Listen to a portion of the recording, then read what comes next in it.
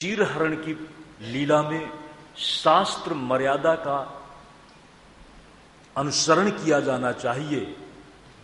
इस बात को उन्होंने प्रेरणा के रूप में बताया है। वे कुमारियाँ कात्यायनी महामाये महायोगिन्यधीश्वरी नंद गोप सुतम देवी पतिम में कुरुते नमः। ध्यान दें ये उनकी भावना थी। भगवान कृष्ण को ही वो अपने पति के रूप में पाना चाहती थी। अगर कोई आपका अपना बनना चाहता है, अपना बनना चाहता है आपका, और अगर वह कोई गलती करता है तो आप क्या करेंगे? आपका अपना बनना चाहता है, आपके साथ अपना रिश्ता बनाना चाहता है और अगर वह गलत है तो आप पीछे हट जाएँगे।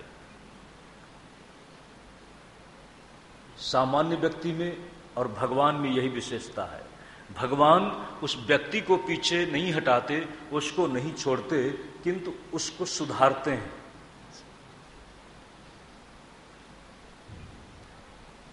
आपकी लड़की या लड़के की शादी होने वाली हो और पता चला किसी ने बता दिया आकर के, चाहे झूठ ही क्यों न बता दे सावधान। जहाँ आप रिश्ता करने जा रहे हैं, उस व्यक्ति में, उस परिवार में आ बात छे, तब आपका मन पीछे हट जाता है। जिसको आप अपने साथ जोड़ना चाहते थे, आप अगर आपका बेटा है तो आप क्या बोलते हैं? समझी? क्या बोलते हैं? बेवाई। बेवाई बनने की कल्पना कर रहे थे। आप बेवाई बनने की भावना में बड़े उत्साहित थे, लेकिन आपकी भावना अचानक पीछे क्यों लौट जाती है? ध्यान देना, ये कुमारिकाएँ प्रार्थना कर रही थी भगवान कृष्ण को पति रूप में पाने की। भगवान कृष्ण ने देखा कि ये मेरे साथ जुड़ना चाहती हैं लेकिन इनका जो आचरण है, वह शास्त्र मर्यादा का उल्लंघन करके है। सज्जनों, बहुत से लोगों ने बहुत ढंग से सोचा है। अब कोई प्रश्न नहीं रह जाता। अगर वे मर्यादा का उल्लंघन करके चल रही हैं तो मर्यादा की शिक्षा कहाँ से मिलेगी? मर्यादा का शासन कौन देगा? शास्त्र देगा। इसलिए भगवान ने वहाँ पर शास्त्र को सामने रखकर उनको सीख दी है और तुम्हारे द्वारा जो वरुण देव का अपमान हुआ है, तुम्हारे द्वारा ये नदी भी तो चेतन है। ये तुम्हारे द्वारा जो गलती हुई है, इसके लिए क्षमा मांगो। आप कहें तो कपड़े क्यों उठा लिए? भगवान ने कहा, कपड़े मैं तो दे दूँगा। ये कपड़े, इन कपड़ों के साथ भी मेरा रिश्ता है। अगर तुम मेरे साथ रिश्ता बनाना चाहती थी तो इन कपड़ों के साथ भी मेरा रिश्ता है। सज्जनों, जाने में अनजाने में, अगर आपकी श्रीमती जी का कपड़ा छूट जाए तो अगर कोई न देखता हो तो आप ज़रूर उठा के संभाल लेंगे।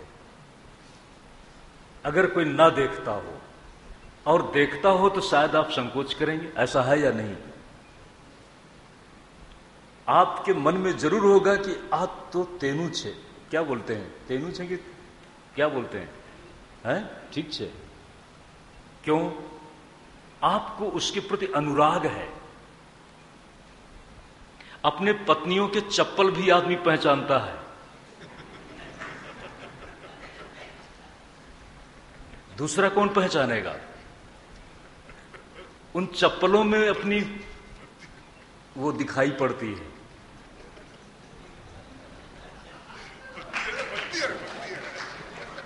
तो उठा लिया कपड़े? अगर कोई दूसरा कपड़े उठाता तो?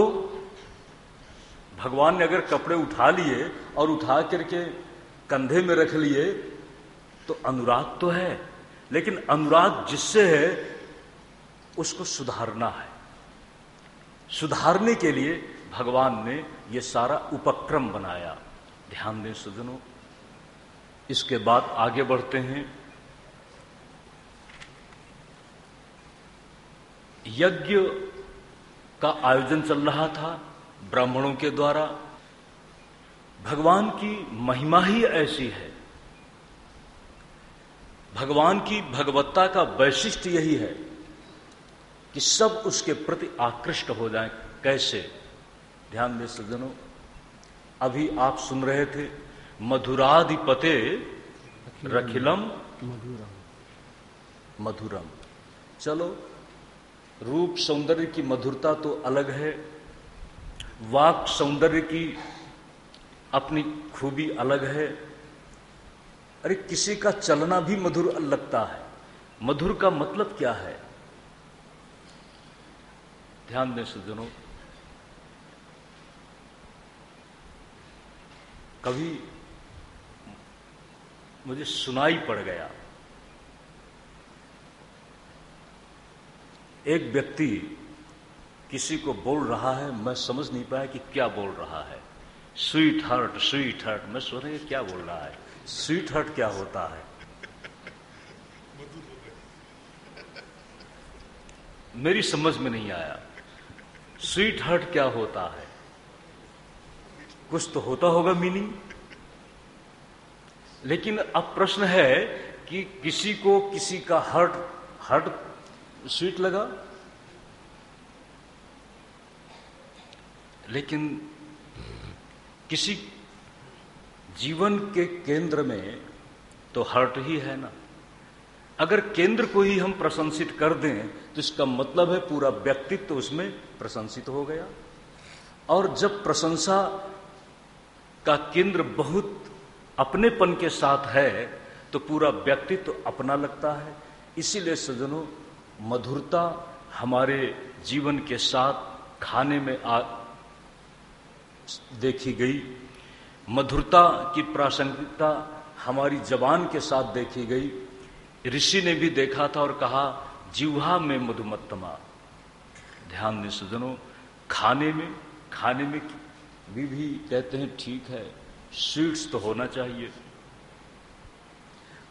जो चीज़ हमको अच्छी लगती है सज्जनों पशु पक्षियों को भी अच्छी लगती है। अगर मधुर हमको आपको अच्छा लगता है तो पशु पक्षियों को भी अच्छा लगता है, चीटियों को भी अच्छा लगता है, सबको अच्छा लगता है। लेकिन अगर किसी का सौंदर्य, किसी विशेषता में जो संपूर्णता को अपने आप में समाहित किए हुए हो तो वह सबको प्रीति कर लगाएगा भगवान श्री कृष्ण तो सबके अंतरात्मा है ना?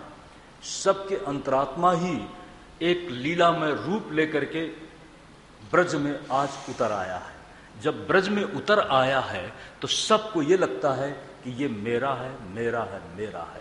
उधर यज्ञ पत्नियों में, ध्यान दें सज्जनों, आपने एक बात सुनी है, यज्ञ पत्नियों की बात, मैं करने जा रहा हूँ।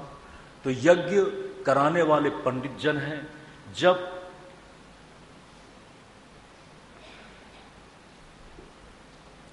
यज्ञ पत्नियों ने भगवान की तरफ़ देखा तो पंडितों ने आपत्ति की। लेकिन वो पंडित उस समय भूल जाते हैं कि यज्ञो वही विष्णु हूँ, हम यज्ञ करा रहे हैं तो यज्ञ के अधिष्ठाता तो विष्णु हैं। और यज्ञ के अधिष्ठाता विष्णु हैं तो प्रकारांतर से यहाँ पर कृष्ण आ गए हैं। लेकिन जब तक जनाना वह उचित नहीं समझता, यमई वेश ब्रूढ़ते, गर्ग जी, किसी समय की बात है, बाबा नंद जी ने उनको घर में निमंत्रण किया था और वो भोग लगाते हैं और जब भोग लगाते हैं तदीयम वस्तु गोविंद तुभ्यमेव समर्पये। जैसे ही भोग लगाया याद किया तो उसी के साथ वो चलता हुआ उच, मचलता हुआ उनकी थाली के पास पहुँच गया और अपने आप उठा लिया खाने लगा। आँख खोला। अरे मैया थोड़ा बच्चे को रोक ले। और मैया भी आवाज़ लगाती है, ठीक है, उधर देखा, उसको पकड़ के ले गई, थाली बदल दी। थाली बदलने के बाद फिर से भोग लगाया, माँ तो निश्चिंत हो गई, एक जगह उसको लिटा दिया, और जब फिर से भोग लगाया और फिर से याद किया, स्मरण किया तो माँ को भी पता नहीं चला वह तो निश्चिंत हो गई थी। अभिनय वो भी कर रहा है और जैसे ही फिर से याद किया, फिर से उछल करके पहुँच गया। गर्ग महाराज सोचते हैं, क्या बात है।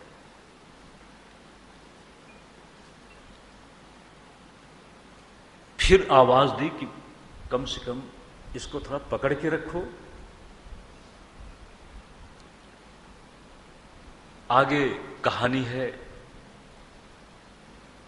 वो बच्चा बोल पड़ता है कि माँ, आ मने बुलावे छे। आ मने बुलावे छे, मने याद करे छे। जो बाल रूप में है, अगर अपने बाल रूप में भगवत्ता का दर्शन नहीं देता है, तब प्रश्न है, कब देगा?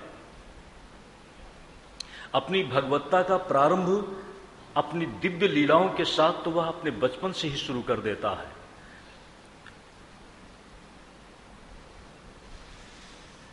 जिस विराट परमात्मा की स्मृति, विराट परमात्मा जो सर्वात्मा है, जो प्राण का भी प्राण है प्राण सेदम बसे सर्वम त्रिदिवे यत प्रतिष्ठितम प्रश्नोपनिषद। उसी परमात्मा को तो कहा है कि वह ये लीला विग्रह के साथ यशुदा के आँगन में खेल रहा है। यशुदा के आँगन में खेलने वाला वही पूर्ण ब्रह्म है, जिस पूर्ण ब्रह्म को गे तत्व रूप में वेदांत प्रतिपादित करता है, और जो संपूर्ण विश्व ब्रह्मांडों का शासक ईश्वर है, आज यशोदा के आँगन में वही खेल रहा है। लेकिन तब तक पता नहीं चलता, जब तक वह अपनी महिमा का प्रकाश खुद न कर दे ब्राह्मणों को पता नहीं चला, लेकिन यज्ञ पत्नियों को पता चला, पता चल जाता है। यज्ञ पत्नियों को लगा कि ये तो हमारा आराध्य देव है। ध्यान दें सज्जनों यज्ञ पत्नियों पर भगवान ने कृपा की है। बाद में उन ब्राह्मणों को, पंडितों को भी पता चला है। उसी लीला क्रम में धीरे धीरे शरद ऋतु बढ़ती चली जा रही है। द्रोण नंद बाबा ने सोचा कि बारिश का समय तो बीत गया। अब वर्षा के अभिमानी देव इंद्र की पूजा कर डालनी चाहिए और इंद्र की पूजा का आयोजन बनने लगा। और जब इंद्र की पूजा का आयोजन बन रहा है, तभी भगवान ने प्रश्न किया।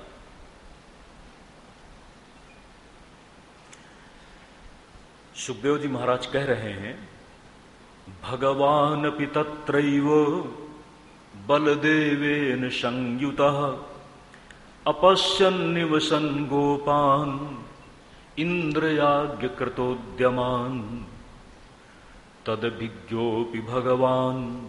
सर्वात्मा सर्वदर्शन। प्रस्त्रयावन तो पृछत वृद्धानंद पुरोगमान कथ्यताम मे पिता कोयम संभ्रमो वा उपागत? किम फलम कस्य चोद्देश के साध्यते मख। भगवान ने प्रश्न किया पिताश्री ये इंद्र पूजा का आयोजन आप क्यों कर रहे हैं? इंद्र की, की प्रसन्नता के पीछे आपका उद्देश्य क्या है? तो नंद बाबा ने कहा छोटा बच्चा है बच्चे बहुत प्रश्न करते हैं सा माटे करो छो। और जब तक उनकी जिज्ञासा को आप सही ढंग से शांत नहीं कर देंगे, तब तक वो चुप नहीं रहेंगे। नंद बाबा ने कहा कि ये इंद्र महाराज की कृपा से ही वृष्टि होती है, बारिश होती है, और जब उनकी कृपा से बारिश होती है तो अन्न जल होता है। अन्न जल जब प्रचुर रूप में हो जाता है तो इससे हमारा जीवन चलता है इसलिए इंद्र की पूजा करनी चाहिए। स्वस्ति न इंद्रो वृद्धस्त्रवाह प्रार्थना आप करते हैं शांति पाठ में। भगवान ने कहा, व्यक्ति अपने कर्म से और कर्म ही प्रारब्ध है। सुख और दुख जो कुछ भी मिलता है, सुखस्य दुखस्य न को पिदाता परो ददातीति कुबुद्धि रेशा सुख और दुख, चाहे खाने का सुख हो, उठने बैठने का सुख हो, जीवन के साथ साधनों से मिला हुआ सुख हो, वह तो सब व्यक्ति को अपने कर्म से मिलता है। आप इंद्र पूजा के लिए इतना क्यों ज़्यादा वो कर रहे हैं? लाला, बात तो सही बोल रहा है। बच्चे भले ही आपको छोटे दिखते हैं, लेकिन वही आने वाले समय में आपके परिवार के प्रकाश बनेंगे, आपके परिवार का संवाहक बनेंगे। नंद बाबा ने सोचा कि चलो, भले ही छोटा है, लेकिन इसकी बात तो माननी चाहिए। ठीक है, क्या करना है? कहा कि बस यज्ञ कर दो पंडितों को बुलाओ, भंडारा कर दो, ज़्यादा हो, दक्षिणा दो। दक्षिणा देने से पंडित जन खुश होंगे और यज्ञ होगा। यज्ञ से सभी प्रकृति प्रसन्न हो जाएगी। यज्ञ हुआ, पंडितों को दक्षिणा मिली, लेकिन इंद्र जी नाराज़ हो गए। ध्यान देना सज्जनों, आपने एक शब्द सुना है, वृष्टि और अनावृष्टि। कभी समय पर वृष्टि हो जाए तब तो अच्छी बात है, और कभी कभी असमय में वृष्टि हो जाती है। इंद्र ने सोचा कि इन नंद बाबा को बताना चाहिए, ब्रज को बताना चाहिए कि आपने मेरा अपमान किया है, मेरी परंपरागत पूजा का निर्वाह न करते हुए आपने मेरी महत्ता को जो नकारा है, उसका ये दंड है। असमय में ही मूसलाधार बारिश के लिए प्रेरणा किया बादलों को, चारों तरफ़ मेघ खंड पवन के साथ दौड़ते हुए दिखाई पड़ने लगे। काले काले मेघ, ऐसा लगता है कि प्रलयकालीन मेघ आ गए, खूब बारिश होने लगी। जब खूब बारिश होने लगी तो नंद बाबा उदास हो रहे हैं। बड़े लोग यही कहते हैं ना, देखो कुछ हमने परंपरा का निर्वाह नहीं किया, इसलिए ज़रूर उसी के कारण ऐसा हो रहा है। कहते हैं, सात दिन बारिश हुई है। नंद बाबा और ब्रजमंडल की उदासी को तोड़ने के लिए गोवर्धन पहाड़ को कहा है गोवर्धन, यानी गिरिराज पहाड़। कहा है कि अब यही हमारी रक्षा करेगा। ध्यान दे सजनों, भगवान कृष्ण ने कहा है, ब्रजमंडल की रक्षा करने के लिए चलो, एक उपाय करते हैं। कपड़े का छाता। ध्यान देना सज्जनों आपने छाता तो देखा है। छाता भी एक शिखर जैसा होता है, जिससे आपकी पानी से रक्षा हो जाती है। लेकिन आपकी हो सकती है, और अगर बड़े क्षेत्र की रक्षा करना है तो कैसे किया जाए? बस एक बात दिमाग में आई, चलो गोवर्धन पहाड़